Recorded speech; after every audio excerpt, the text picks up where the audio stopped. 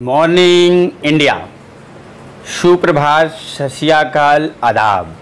कैसे हैं मेरे डियर? कैसे हैं मेरे नियर? मैं आपका दोस्त और आपका होस्ट, एस पी शुक्ला, आपके बीच में questions of the day G K G S के दस महत्वपूर्ण प्रश्नों की सीरीज़ के साथ जुड़ चुका हूँ लाइव आपसे मुखादिब हो चुका हूँ ऐसे प्रश्नों की सीरीज़ जो आपके आगामी एग्ज़ामों में, आपकी परीक्षा में आपको सफलता प्रदान करेगी और आपकी सफलता ही हमारी पहचान बना देगी। उसी सीरीज़ के साथ पार्ट नंबर ट्वेंटी वन इक्कीसवें पार्ट में आज हम केमिस्ट्री रसायन विज्ञान के अंतर्गत दस महत्वपूर्ण प्रश्नों पर चर्चा करने वाले हैं। ऐसे हमारे विद्वान साथी जो चैनल पर नए हैं, उन्हें बता देना चाहूँगा। यह शो प्रत्येक दिवस आपके जीवन में, आपके उज्जवल भविष्य को बनाने के लिए, सूरज की पहली किरण के साथ ही साथ ब्रह्म मुहूर्त में ब्राह्मो मुहूर्ते बुद्धेते धर्मार्थो चानुचिंतित यानी ब्रह्म मुहूर्त में ही आपको चिंतन मनन करने के लिए मैं लेकर के हाजिर हो जाता हूँ। तो आप मॉर्निंग का पाँच बजे का ये शो प्रत्येक दिवस ज़रूर से ज़रूर देखें। चलिए, आज का सेशन स्टार्ट करेंगे। इससे पहले कि हमारे ऐसे साथी जो अभी तक हमारे Facebook page S P Shukla educate को लाइक नहीं किया है तो आप हमारे Facebook page S P Shukla educate को लाइक करें। टेलीग्राम ज्वाइन नहीं किया तो टेलीग्राम पर आप S P Shukla space educate search करके टेलीग्राम ज्वाइन करें।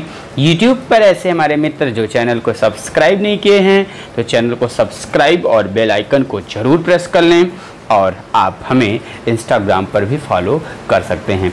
चलिए, आज का पहला प्रश्न एक अनोखे अंदाज में आने वाला है। आपके बीच में प्रश्न जल्दी से आए, जल्दी से सेशन को स्टार्ट करें। प्रश्न आ चुका है। देखिए क्वेश्चन क्या कह रहा है? इस प्रश्न पर थोड़ा सा चर्चा करते हैं बहुत ही अच्छे से। परमाणु के क्वेश्चन कह रहा है कि परमाणु के संगठन में शामिल मौलिक कण। किसकी बात की जा रही है? परमाणु के संगठन में शामिल मौलिक कण। आपने बचपन में पढ़ा होगा एकेडमिक वाले दिनों में ये क्या होता है? आपका एटम होता है। ये क्या होता है? एटम होता है। इसके अंदर ये न्यूक्लियस जिसको इंग्लिश में क्या बोलते हैं हम? न्यूक्लियस बोलते हैं। न्यूक्लियस के अंतर अंदर जो होता है, प्रोटॉन और न्यूट्रॉन होता है और इसके बाहर जो है, इलेक्ट्रॉन जो है, क्या करता है? चक्कर लगाता रहता है, चक्कर लगाता रहता है। तो क्वेश्चंस क्या कह रहा है? परमाणु के संगठक में शामिल मौलिक कण हैं। तो परमाणु के संगठन में तीनों कण अर्थात शामिल हो जाते हैं, प्रोटॉन, इलेक्ट्रॉन और न्यूट्रॉन। कुछ और भी इम्पोर्टेंट तथ्य निकल के आते हैं, इस प्रश्न के साथ उन प्रश्नों पर भी चर्चा करते हैं। आप देखिए, परमाणु का निर्माण करने वाले तीन मौलिक कण कौन कौन से हैं, आपसे पूछा जाएगा। आप नोट कर लीजिए, आपका, आप इधर देखिए, प्रोटॉन, इलेक्ट्रॉन और मेसान दिया है, ये मेसान हो नहीं सकता। प्रोटॉन, इलेक्ट्रॉन और फोटान दिया है, फोटान होता नहीं है। प्रोटॉन, इलेक्ट्रॉन और न्यूट्रॉन दिया है, ये सही है। प्रोटॉन, इलेक्ट्रॉन और यहाँ ड्यूट्रॉन दिया है। ड्यूट्रॉन जो कि भारी कण होता है, ये भी नहीं होगा। यानी इस क्वेश्चन से तो आपने समझ लिया कि इस क्वेश्चन का सही जवाब आपका ऑप्शन सी होगा। क्या होगा फ्रेंड्स ऑप्शन सी होगा। अब मैं इन प्रश्नों पर थोड़ी सी चर्चा कर देता हूँ, जो आपके एग्ज़ाम में पूछे जा सकते हैं। इसके अलावा भी, जैसे पहला क्वेश्चन तो यही कि इलेक्ट्रॉन की खोज किसने किया है? कई मरतबे पूछा हुआ है ये प्रश्न। इलेक्ट्रॉन की खोज आप हमारे साथ साथ बताते रह सकते हैं। आप बताते हुए चलिए, जे जे टामसन ने किया है। किसने किया है मेरे दोस्त? जे जे टामसन ने किया है। फिर बात आती है प्रोटॉन की। प्रोटॉन की खोज किसने किया है? बहुत बार ये क्वेश्चन पूछा जा चुका है। रदर फोर्ड ने किया है। किसने किया है? रदर फोर्ड ने किया है। फिर आपसे पूछा जा सकता है, न्यूट्रॉन की खोज किसने किया है? न्यूट्रॉन की खोज जो है, जेम्स चैडविक ने किया है। किसने किया है फ्रेंड्स? जेम्स चैडविक ने किया है। देखिए, बचपन के दिनों में इस तरीके के प्रश्नों को आप याद करने के लिए आपको याद होगा, आप क्या करते थे? ईंटा पर नाच। किस पर नाच, ईंटा पर नाच। तो वो चीज़ें आपको बचपन वाली चीज़ें हैं, याद हैं, आप उस तरीके से भी क्वेश्चंस को कर सकते हैं। लेकिन यदि चीज़ों को आप बहुत ही मार्मिकता के साथ अध्ययन करते हैं तो हमें शार्ट ट्रिक या शार्ट रास्ते की ज़रूरत नहीं होती है। अब देखिए, इसके अलावा जो कुछ प्रश्न इससे पूछे जा सकते हैं, उन पर भी चर्चा कर देता हूँ। बहुत ही आपसे बता रहा हूँ इंपॉर्टेंट प्रश्न पूछा जाता है। जैसे, एक क्वेश्चन तो यही आ गया कि इलेक्ट्रॉन पर कैसा कण होता है इलेक्ट्रॉन जो होता है, इस पर निगेटिव चार्ज पार्टिसिपल होता है, यानी इस पर निगेटिव चार्ज होता है।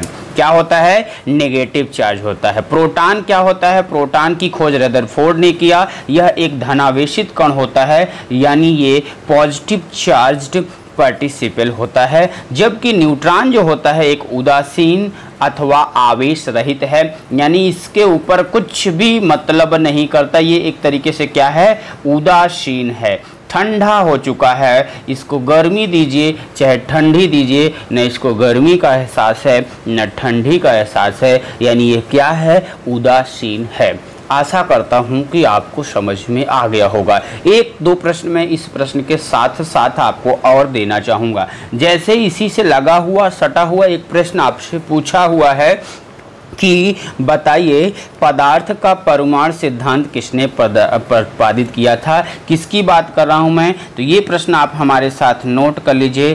पदार्थ का परमाणु सिद्धांत, पदार्थ का परमाणु सिद्धांत। पदार्थ का जो परमाणु सिद्धांत है, मेरे डियर इसका जो है प्रतिपादन किया था डाल्टन ने किया था। किसने किया था? डाल्टन ने किया था। वर्ष आपसे पूछा जाए, किस ईयर में किया था?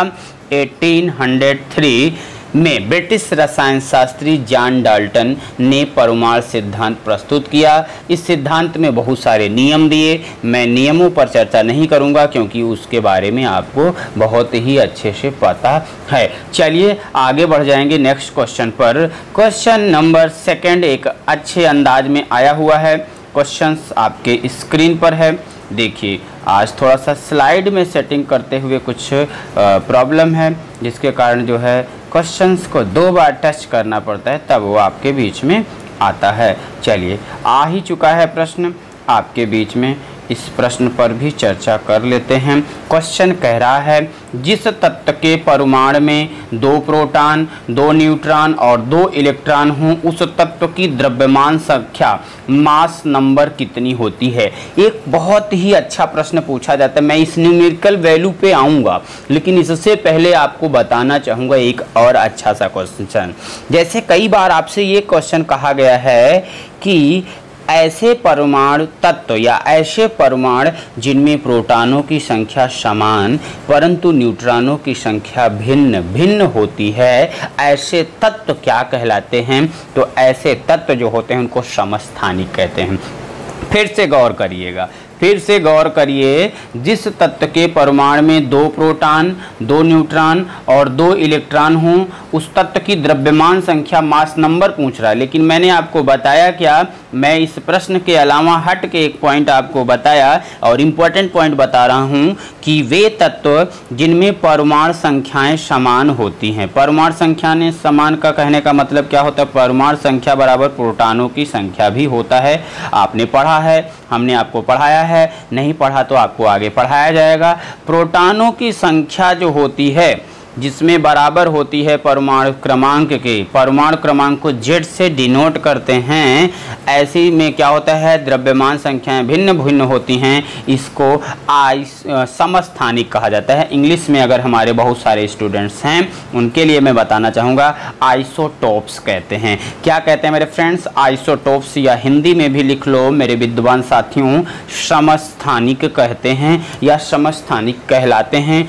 समस्थानिकों के राशि रासायनिक गुण समान, परंतु भौतिक गुण जो होते हैं, वो भिन्न भिन्न होते हैं। अच्छा एक प्रश्न तो यहाँ से और निकल के आता है।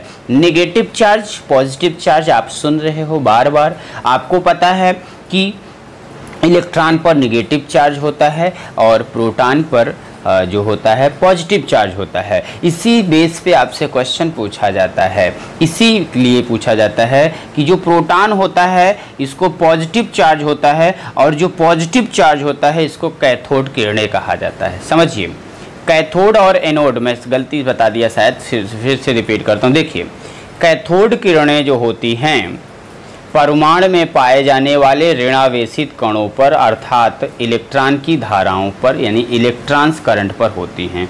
ठीक है तो कैथोड क्या होती, इसमें पॉजिटिव है तो ये एनोड होगा। क्या होगा फ्रेंड्स, एनोड होगा और निगेटिव है तो कैथोड होगा, ये आप समझ जाइए। जे जे ताम टामसन ने कैथोड किरणों की सहायता से परमाणु में इलेक्ट्रॉनों की खोज की थी। इलेक्ट्रॉन द्रव्यमान युक्त जो है, ऋणावेशित कण है। अतः हम ये कह सकते हैं कि कैथोड किरणों में द्रव्यमान जो होता है, जिसको मास कहते हैं, आवेश चार्ज जो होते हैं, दोनों होते हैं। अब मैं अपने प्रश्न पर आता हूँ। बहुत सारे स्टूडेंट्स ने जवाब भी दिया होगा। आप सभी मित्रों को बधाई हो जिन्होंने जवाब दिया है। आप कोशिश किया करें कि जवाब देने का पूरा प्रयास किया करिए। बहुत ही प्यारा क्वेश्चन है, प्यारे अंदाज में मैं आपको बताऊँगा सेकंड के अंदर। देखिए क्वेश्चन आप समझिए। किसी तत्व की द्रव्यमान संख्या जो होती है क्या होती है। यहाँ पर देखिए, द्रव्यमान संख्या, मास नंबर की बात कर रहा है। परमाणु संख्या, उसके नाभिक में उपस्थित प्रोटानों एवं न्यूट्रॉनों की संख्या के योग के बराबर होता है। यानी मास नंबर आपको जोड़ना है, पाना है तो प्रोटॉन और न्यूट्रॉन को दोनों को जोड़ दीजिए, आपको निकल के आ जाएगा। अच्छा अब इस क्वेश्चन में देख लो कि इस तत्व में परमाणु में दो प्रोटॉन। अच्छा ये जो प्रोटॉनों की संख्या होती है, परमाणु क्रमांक जेड के बराबर होती है। न्यूट्रॉनों की संख्या जो है यहाँ एन दिया हुआ है, इसमें भी दो है। दो इलेक्ट्रॉन दिया है, इलेक्ट्रॉनों की संख्या जो है दो दिया है। आपसे पूछा क्या रहा द्रव्यमान संख्या। द्रव्यमान संख्या निकालने के लिए प्रोटॉन आपको दो दिया है, न्यूट्रॉन आपको दो दिया है। दो में दो जोड़ दो मेरे विद्वान साथियों, चार हो जाएगा आंसर, यानी इस क्वेश्चन का सही जवाब हुआ ऑप्शन बी एक बार प्रेम से बताओ, समझ में आया कि नहीं? आया कि नहीं? हर बच्चे को समझ में आना चाहिए। एक प्रश्न इसी के साथ और लिख लीजिए। जैसे आपसे कहा जाए कि बताइए, किसमें न्यूट्रॉन अनुपस्थित होता है? मेरे मित्र, मेरे दोस्त, हाइड्रोजन एक तत्व है। हाइड्रोजन के परमाणु में एक इलेक्ट्रॉन तथा एक प्रोटॉन होता है, परंतु न्यूट्रॉन अनुपस्थित ही होता है। हाइड्रोजन के परमाणु का आकार जो होता है, इसीलिए सबसे छोटा होता है। तो आप नोट कर लीजिए ये पॉइंट। हाइड्रोजन के परमाणु में हाइड्रोजन के परमाणु, हाइड्रोजन के परमाणु में क्या होता है फ्रेंड्स हाइड्रोजन के परमाणु में न्यूट्रॉन जो होता है, न्यूट्रॉन अनुपस्थित होता है। न्यूट्रॉन क्या होता है? अनुपस्थित होता है या अनुपस्थित होता है? आशा करता हूँ कि समझ गए होंगे। आइए, आगे बढ़ते हैं क्वेश्चन नंबर थर्ड आपकी स्क्रीन पर। निम्नलिखित में से कौन सा एक आवेश रहित कण है? किसकी बात कर रहा है? आवेश रहित रहित और सहित। हिंदी में बहुत अच्छे से पढ़ाया हूँ। आप नहीं पढ़े हैं तो आपको बता देना चाहूँगा। प्रत्येक दिन शाम को सात पी पर हमारी क्लास स्टार्ट हो रही है हिंदी की। ठीक है फ्रेंड्स बहुत ही एक्सपीरियंस वाला क्लास ऐसी क्लास हिंदी की शायद आपने देखी होगी। तो शाम को सात बजे लाइव जुड़िए एस पी शुक्ला सर के साथ हिंदी के रस का रसा स्वादन करिए। बहुत प्यारे अंदाज में हिंदी को पढ़िएगा। देखो, यहाँ पर लिखा है रहित। रहित का मतलब होता है जो चीज़ आपके पास ना हो। सहित का मतलब होता है जो चीज़ आपके पास हो। प्रश्न आपका कह रहा है, कौन सा एक आवेश रहित कण है? तो मेरे दोस्त, अभी अभी आपने पढ़ा कि न्यूट्रॉन जो होता है, ऐसा कण है जो आवेश रहित है, या इसी को कह सकता है कि उदासीन। आवेश रहित ना पूछ करके आपसे ये भी कहा जा सकता है प्रश्न में कि कौन सा तत्व है जो उदासीन है होता है। तो यही है उदासीन होता है। जबकि अगर इलेक्ट्रॉन की बात करोगे तो इलेक्ट्रॉन अभी अभी आपने देखा कि इस पर निगेटिव चार्ज होता है प्रोटॉन जो है आपका इस पर पॉजिटिव चार्ज होता है और जो नाभिक होता है, नाभिक में न्यूट्रॉन प्रोटॉन के साथ परमाणु में, परमाणु के नाभिक में होता है और इलेक्ट्रॉन उसके चारों तरफ़ क्या करता है, बाहरी कक्षा में चक्कर लगाता रहता है। ऐसा करता हूँ कि समझ गए होंगे। आइए क्वेश्चन नंबर फोर्थ पर चलते हैं। क्वेश्चन नंबर चौथा आपकी स्क्रीन पर। क्या कर रहा है? है, निम्नलिखित में से कौन सा हाइड्रोजन के समस्थानिक हैं? हाइड्रोजन के समस्थानिक की बात की जा रही है। हाइड्रोजन परमाणु के तीन समस्थानिक होते हैं। कितने समस्थानिक हैं? बहुत इंपॉर्टेंट क्वेश्चन है। तीन समस्थानिक हैं। वो तीन समस्थानिक कौन कौन से हैं? समस्थानिक अभी अभी बता दिया भैया। इंग्लिश मीडियम वाले भैया सुमी गुप्ता जी को ना समझ में आए, इसलिए मैं बोल देता हूँ। आइसोटोप्स भैया। क्या है? आइसोटोप्स होते हैं। इंग्लिश में इसको आइसोटोप्स कहते हैं। देखो, इसमें तीन परमाणु में कौन कौन समस्थानिक है पहला तो हो गया आपका प्रोटियम। मैं केवल शॉर्ट में लिखता हूँ प्रोटियम। दूसरा होता है आपका ड्यूटीरियम। ड्यूटीरियम को डी से डिनोट करता हूँ और तीसरा हो गया आपका ट्राइटियम। ट्राइटियम को टी से लिख देता हूँ। इसी प्रकार प्रकृति में क्लोरीन के भी दो समस्थानिक पाए जाते हैं। किसकी? क्लोरीन के भी दो समस्थानिक पाए जाते हैं। अब क्वेश्चन आपका क्या कह रहा है? जरा इस क्वेश्चन पे गौर करिए। समस्थानिक हैं, प्रोटियम भी है और रेडियम, आप देख रहे हो कि रेडियम इसमें नहीं आता है। रेडियम आपका नहीं है। ड्यूटीरियम भी है और ट्राइटियम भी है, यानी एक, तीन और चार सही है। अब ऐसा ऑप्शन कौन सा है जो एक, तीन और चार सही तो आपको ऑप्शन डी दिख रहा है, यानी क्वेश्चन नंबर फोर्थ का सही जवाब हुआ ऑप्शन डी आशा करता हूँ हमारे सभी विद्वान साथियों को समझ में आ गया होगा। आइए, आगे बढ़ते हैं। क्वेश्चन नंबर पाँच पर क्वेश्चन नंबर पाँच आपकी स्क्रीन पर आया हुआ है। धातुओं के संदर्भ में निम्नलिखित कथनों में कौन सा से सही हैं। अब देखो, धातुओं के बारे में आपको पता होना चाहिए। आपसे अक्सर देखिए, धातु, अधातु और मिश्र धातु से प्रश्न बनते हैं। तो इसके बारे में आपको पता होना चाहिए, तब तो आप अच्छा से कर पाओगे। आइए, गौर करते हैं हम ऑप्शन पर। पहला ऑप्शन दे रहा है पारा को छोड़कर अन्य सभी धातुएँ कमरे के तापमान पर ठोस अवस्था में पाई जाती बिल्कुल सही बात है। मित्र, आपको बताना चाहूँगा, सभी धातुएँ सामान्यतः कमरे के तापमान पर ठोस अवस्था में पाई जाती हैं। परंतु पारा पारा को भैया इंग्लिश में क्या कहते हैं? कई सारे बच्चों को हमारे ना समझ में आए तो हम बता देते हैं। भैया, नोट कर लीजिए, मरकरी। क्या बोलते हैं फ्रेंड्स मरकरी। तो मरकरी धातु इसका एकमात्र अपवाद है। ये एक्सेप्शन है। ये क्या है? अपवाद है। इसीलिए तो प्रश्न बनता है। हमेशा अपवाद ही प्रश्न पूछे जाते हैं। तो ये अपवाद है जो कमरे के तापमान पर द्रव अवस्था में पाया जाता है। कौन सी अवस्था में पाया जाता है फ्रेंड्स द्रव अवस्था में पाया जाता है। या पाई जाती है। क्वेश्चन आपको ऑप्शन क्या कह रहा था? यही तो कह रहा है, पारा को छोड़कर अन्य सभी धातुएँ कमरे के तापमान पर ठोस अवस्था में पाई जाती है। यानी सभी ठोस पाई जाती हैं। आपसे ये प्रश्न पूछा जा सकता था, पारा कैसे पाया जाता है? तो ये द्रवाकार होता है, यानी द्रव में होता है। फिर दूसरा पॉइंट क्षारीय धातुएँ जिसको एल्काइलिन मेटल्स कहते हैं, इतनी मुलायम होती हैं कि उन्हें चाकू से भी काटा जा सकता है। चाकू से भी। तो मित्र, आपको बताना चाहूँगा, सभी धातुओं में पारा का गलनांक जो होता है, जिसको मेल्टिंग पॉइंट कहते हैं। गलनांक का मतलब क्या होता है? मेल्टिंग पॉइंट कहते हैं, सबसे कम जो होता है 234 के पर होता है 234 केल्विन पर होता है। पारे का उपयोग जो होता है, वायुदाबी जिसको बैरोमीटर कहते हैं, तथा तापमापी जिसको थर्मोमीटर कहते हैं, के निर्माण में सूचक के रूप में, इंडिकेटर के रूप में किया जाता है। कठोरता धातुओं का एक सामान्य भौतिक गुण है, परंतु क्षारीय धातुएँ, जिसमें बात करें लिथियम सोडियम पोटेशियम इतनी मुलायम होती हैं कि इन्हें चाकू से भी काटा जा सकता है। यानी आपको कहने का मीन्स क्या है? दोनों ऑप्शन सही हैं। यानी इस क्वेश्चन का सही जवाब ऑप्शन सी हो गया। एक और दो, दोनों। आइए, बढ़ते हैं क्वेश्चन नंबर छठे पर। बिल्कुल। क्वेश्चन नंबर छठा एल्यूमिनियम बनाने के लिए कौन से मुख्य खनिज का प्रयोग किया जाता है? कौन सी चीज़ बनाने के लिए एल्यूमिनियम की बात कर रहा है? मित्र, आपको बताना चाहूँगा एल्यूमिनियम पृथ्वी पर सर्वाधिक मात्रा में पाए जाने वाली धातु है। तो आपसे एक प्रश्न ये भी पूछा जाए कि बताइए, पृथ्वी पर पृथ्वी पर सर्वाधिक मात्रा में, आपसे क्वेश्चन कहा जाए, पृथ्वी पर सर्वाधिक मात्रा में मात्रा में पाया जाने वाला या फिर पाई जाने वाली लिख लीजिए। पाई जाने वाली, पाई जाने वाली धातु है। पाई जाने वाली धातु है। तो मित्र, आपको बताना चाहूँगा, एल्युमिनियम पृथ्वी पर कौन सी धातु है? एल्यूमिनियम, जो आपको एग्ज़ाम में पूछा है। आपसे क्वेश्चन ही पूछ रहे, लेकिन मैं आपको इसको बता रहा हूँ। एल्यूमिनियम। एल्यूमिनियम पृथ्वी पर सर्वाधिक मात्रा में पाई जाने वाली धातु है, जो प्राकृत में स्वतंत्र अवस्था में नहीं पाई जाती है।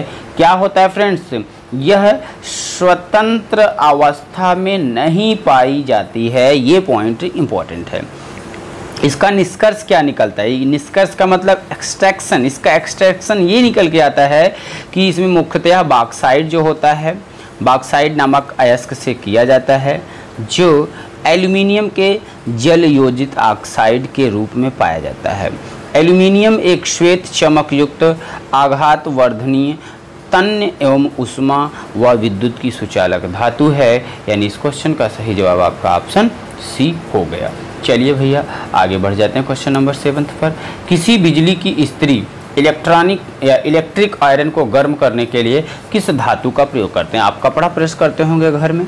ना? तो बिजली की स्त्री स्त्री कहने का मतलब आप ये मत समझ जाना कि जो घर में स्त्री है, यहाँ पर देखिए इसको समझना, ये इस पे शब्दों पर गौर करना, बहुत अच्छे अच्छे शब्दों के साथ गौर करना अच्छे से।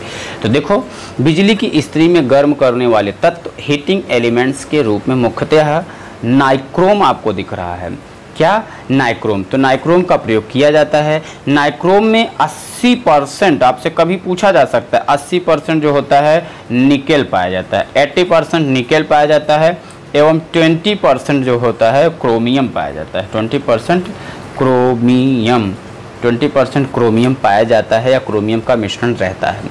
नाइक्रोम एक उच्च प्रतिरोधकता हाई रेजिस्टेंस वाला पदार्थ है जो पहली बार गर्म होने पर क्रोमियम ऑक्साइड की परत का निर्माण करता है। इससे इस परत के नीचे स्थित तार का या तार टूटने एवं जलने से बच जाता है। चलिए, आगे बढ़ते हैं क्वेश्चन नंबर आठ पर। कांसा निम्नलिखित में से किसकी मित्र धातु है? मित्र, आपको बताना चाहूँगा, कांसा जो है, तांबा और टिन दिख रहा है। तांबा का मतलब क्या होता है? कॉपर जिसको कहते हैं। कॉपर और टिन यहाँ पर दिख रहा है, ये आपको टिन दिख रहा है। कॉपर और टिन की मिश्र धातु है, जिसमें सामान्यतः देखा जाए तो तांबा जो होता है 80 परसेंट पाया जाता है, जबकि टिन 12 परसेंट पाया जाता है। कांसे का उपयोग बर्तन तथा मूर्तियाँ बनाने में किया जाता है। आइए, आगे बढ़ते हैं क्वेश्चन नंबर नाइन्थ पर। कह रहा है कि कौन सी धातु हथेली पर रखने पर पिघल जाती? इंपॉर्टेंट प्रश्न है। मित्र, यहाँ पर आपको ऑप्शन सी दिख रहा है, गैलियम। गैलियम जिसको शार्ट में जी ए से डिनोट करते हैं। गैलियम प्रकृति में शुद्ध रूप से नहीं पाई जाती, परंतु इसके यौगिक बाक्साइड और जस्ते के खनिजों में अल्प मात्रा में पाए जाते हैं। गैलियम का गलनांक जो होता है मेल्टिंग पॉइंट जो होता है कभी कभी पूछा जाता है 29.8 डिग्री सेल्सियस होता है, जबकि मानव शरीर का सामान्य ताप जो होता है, आपको पता है हमने क्वेश्चन बताया है 37 डिग्री सेल्सियस या फिर 98.6 डिग्री फॉरन हाइट होता है, इसलिए यह धातु हथेली पर रखने पर पिघल जाती है इंपॉर्टेंट प्रश्न है। ये प्रश्न इंपॉर्टेंट है आपका केमिस्ट्री के अंतर्गत, यानी इस क्वेश्चन का तो सही जवाब सी हो गया। चलिए, आज के अंतिम प्रश्न की तरफ़ रुख करते हैं। दसवां प्रश्न, लोहे की चादर को जंग से बचाने के लिए उस पर निम्नलिखित में से किस धातु की परत चढ़ाते हैं? बिल्कुल जस्ता आपको दिख रहा है, जिसको इंग्लिश में बोलते हैं zinc.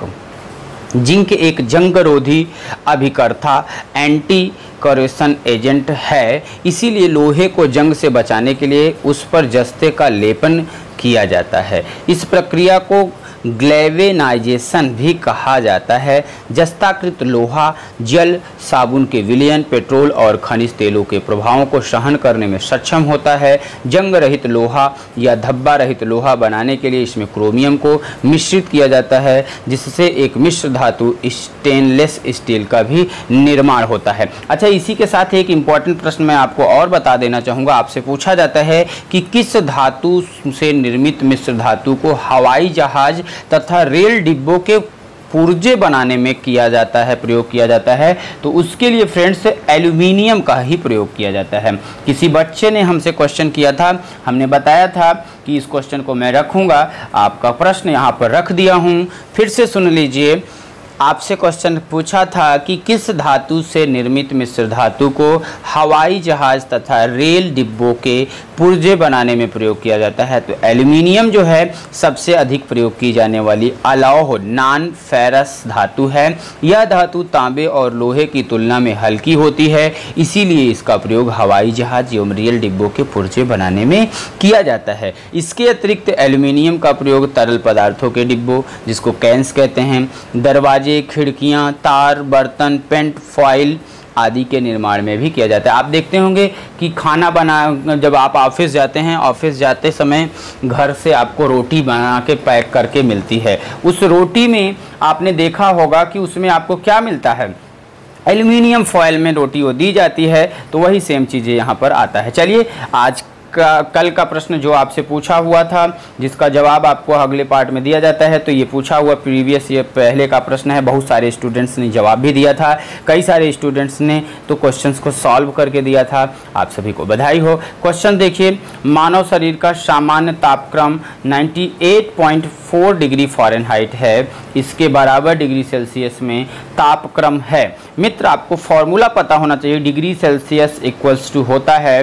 Degree Fahrenheit minus thirty two, minus thirty two into five upon nine ठीक है?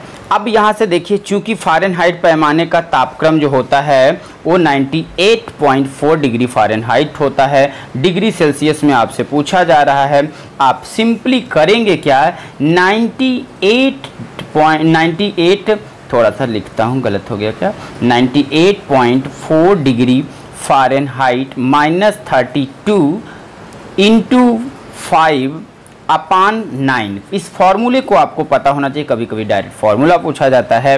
इंटू फाइव करेंगे। आप इसको सॉल्व कर लीजिए फ्रेंड्स जब आप सॉल्व करेंगे तो इसकी जो एग्जैक्ट वैल्यू आती है thirty six point eight nine आएगी। कितना आएगी? Thirty six point eight nine आ जाएगी। तो आपको देखिए, यहाँ पर एग्जैक्ट वैल्यू से मतलब है एग्जैक्ट वैल्यू पूछ पूछ लिया। अब देखो, इतना भी कठिन सवाल। आपको लग रहा होगा कि बहुत ही आसान है। इतना आसान भी नहीं है ये प्रश्न जितना आपको लग रहा है। प्रीवियस ईयर का क्वेश्चन है। यूपी पीसीएस के एग्ज़ाम में पूछा हुआ प्रश्न है मेरे दोस्त। सिंपली आप देखते हो, इसकी वैल्यू आपको 37 डिग्री सेल्सियस बता दी जाती है। जबकि एग्जैक्टली ये क्या होता है? 36.89 डिग्री सेल्सियस होता है। तो कैसा रहा आज का शो? बताइएगा, कमेंट करके बताइएगा। अगर अभी भी आप नींद में हैं तो नींद से जग जाइए, क्योंकि समय आ चुका है। हतो व जीतवा व भोज से नहीं निराशी, निर्ममो भूत युद्ध विगत जरा नींद को त्याग दो। नींद को त्याग दो मित्र, अगर ज़िंदगी में कुछ पाना है, क्योंकि बहुत सारे एग्जामिनेशन आपके स्क्रीन पर नहीं, आपके आने वाले समय में आने वाले हैं। तो चलिए, आज का प्रश्न पूछते हैं, जिसका जवाब देना है आपको कमेंट के माध्यम से। प्रश्न आपकी स्क्रीन पर है, निम्नलिखित तत्वों में कौन अर्धचालक है? एल्यूमिनियम, सिलिकॉन चांदी शीशा। इस क्वेश्चन का जवाब वीडियो अपलोड होने के बाद कमेंट के माध्यम से आप सभी को देना है। ओके फ्रेंड्स आप अपना ख्याल रखिएगा, घर में रहिए, सुरक्षित रहिए, क्योंकि अभी कोरोना के कारण जो स्थिति है, वो दिन प्रतिदिन भयावह होती जा रही है। ओके ऐसे हमारे स्टूडेंट्स जो अभी भी चैनल पर नए हैं, जिन्होंने चैनल को अभी तक सब्सक्राइब नहीं किया है तो प्लीज़ आपसे रिक्वेस्ट है चैनल को सब्सक्राइब करें बेल आइकन को ज़रूर प्रेस कर लें और आप इसका पीडीएफ प्राप्त करना चाहते हैं तो आप हमारे टेलीग्राम चैनल को ज्वाइन करें, जहाँ से इसका पीडीएफ मिलेगा। Thanks for watching all the best take care all of you bye bye